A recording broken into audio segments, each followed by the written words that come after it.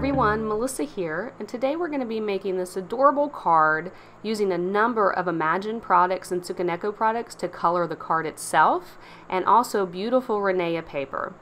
So I'm going to start off by showing you the products I'm using. I'll be using Fireworks Spray in Bahama Blue, and with this spray you can see that collection of material at the bottom, that's the sparkle and glitter that comes in it, so it really needs to be um, shook very well before you use it. I'll also be using Cottage Ivy, Dandelion, and Ladybug. In addition, I'm going to be painting the little pig that you saw in the beginning with Angel Pink Memento and Love Letter Memento. And I also do add two other colors that I mentioned later in the video. I'm using Bristol Smooth paper and an A2 size card base. Bristol Smooth is important for the technique that I'm using, although you could also use watercolor paper. I'm going to be using this beautiful Rinea paper and I show you the wrong pack in the video. I'm actually using Metallics. Metallics has this beautiful silver color that you see. I'll be using this Hello Bluebird uh, pol polymer stamp set called Pig Day. In addition, I'll be using the die cut that you see here um, from Hello Bluebird, and I believe this is called After the Rain. And you can see I've already pre-cut the clouds out of this die, um, and then I've set those to the side. In addition, I want to take one piece of Bristol Smooth paper and use the same die to cut out a white frame and clouds as well as the rainbow because we will be coloring the rainbow with some fireworks sprays. And I'll also need the white clouds that you see because what we want to do is add a silver lining to our white clouds and we're going to do that with that Rinea foil paper that's so pretty.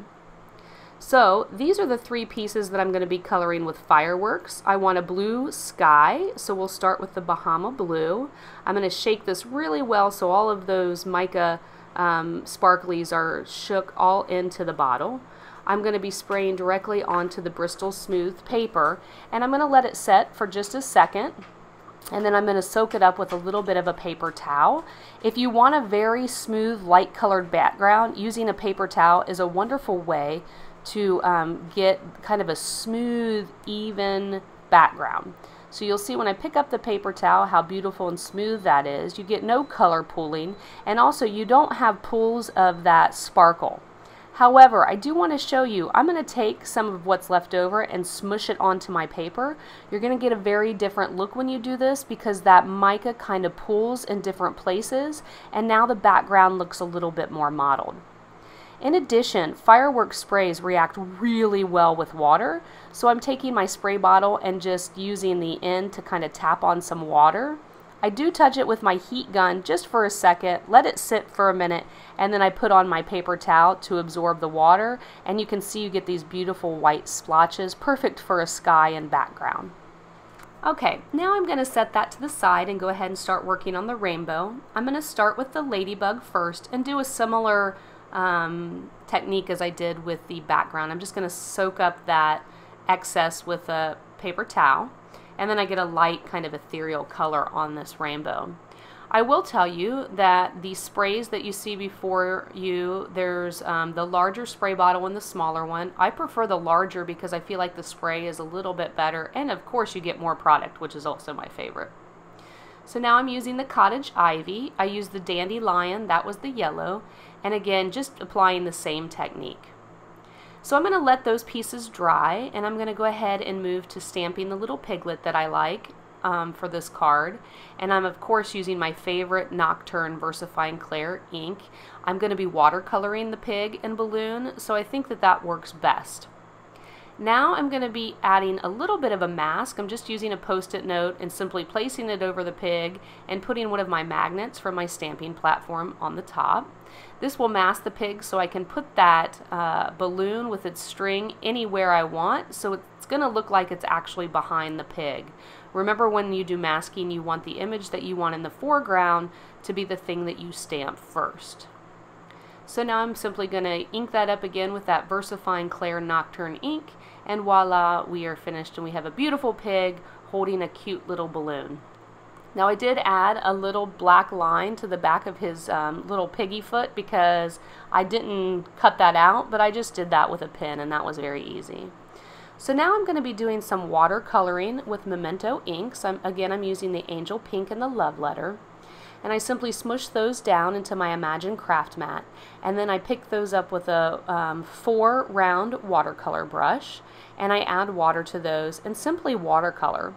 I'm going to speed up the video here for you because I don't think that um, I think this is a pretty easy technique for a beginner and someone who's been, um, you know, card making for quite a while.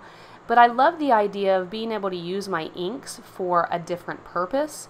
And so just picking two shades that are kind of close together or in the same color family really allows you to get a very simple shading and um, it's very simple to blend memento inks with water as they're a water-based ink. So you can just see I'm adding color here and there, trying to get some good shading. So now we're going to move to the balloon, and I've chose Lulu Lavender and Grape Jelly Memento inks. I was going to do a blue, but I decided with all that blue sky, I thought adding a little bit of purple would be a nice touch, so we really get a rainbow effect going in this card.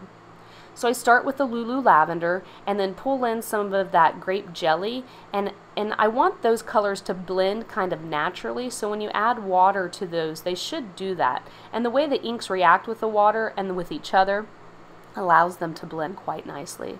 So now I'm going to go ahead and ink up his little paws. I'm using the Memento Tuxedo Black and then I'm going to go ahead and fussy cut this little pig out. One thing I will say about VersaFine Clair on Bristol Smooth paper is it takes a little bit of time to dry, so you need to either heat set it or you wait for it to dry before you start cutting. So now we're going to go ahead and assemble the card. This is quite a process using this die, but I think the outcome is beautiful and worth it. So I'm taking the on point glue that I have. This is my favorite glue because it has a nice fine tip that I find has never clogged on me. And this bottle I've had for almost two years. And um, actually this bottle might be my new bottle. I had another bottle for two years that was fabulous. It never clogged. Now I'm adding that to that white cloud and simply putting on putting it on that metallic Rinea foil um, so that the edge of those clouds are just lined with that paper. And isn't that beautiful? I love the effect of having a nice um, silver lined cloud. So I'll do that with every single cloud that I'm going to be using on this card. And now I'm going to set those aside to add the frame. When you die cut with that After the Rain die cut from Hello Bluebird, you get this little white frame.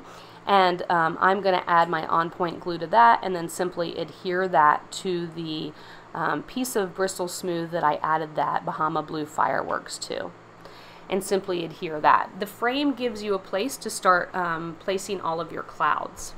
So now I do want to add a little bit of dimension to this card. So my idea here is to glue down those small clouds first and then I'm going to pop up the larger pieces.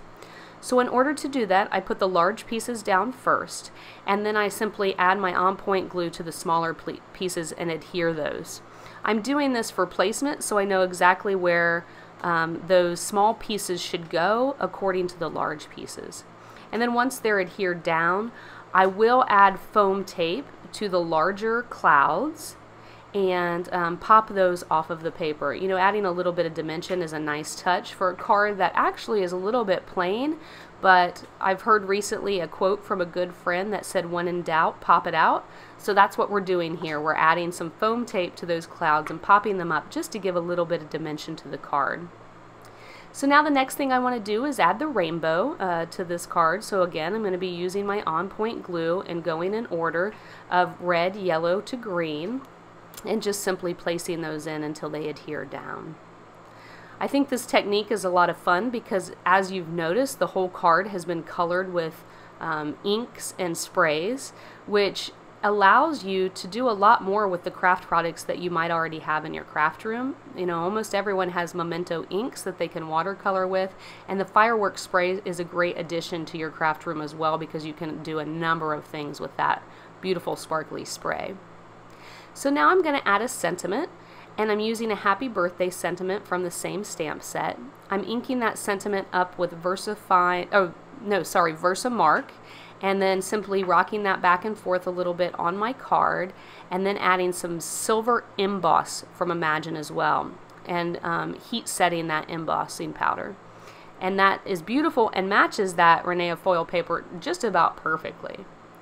So now I'm using my double-sided adhesive tape from um, Imagine. This is called uh, Tear-It tape. It's my favorite tape. I use a lot of it and I use it all of the time. I simply peel off the backing and then I'm going to adhere this panel to my A2 size card base. If you're not sure what an A2 size card is, that's a four and a quarter by five and a half inch size card.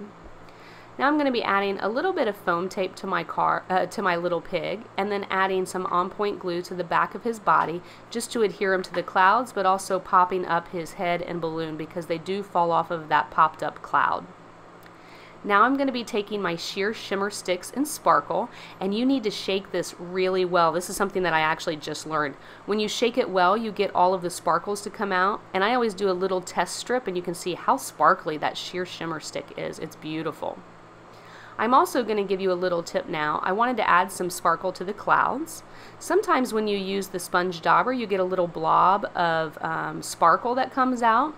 And if you don't like that, you can use your finger to kind of swipe it, or you can take a paper towel, dab up the excess so that the liquid dries, and then take the paper towel and kind of wipe, and you can clear some of those large um, blobs of sparkle if you'd like. So this is our finished card.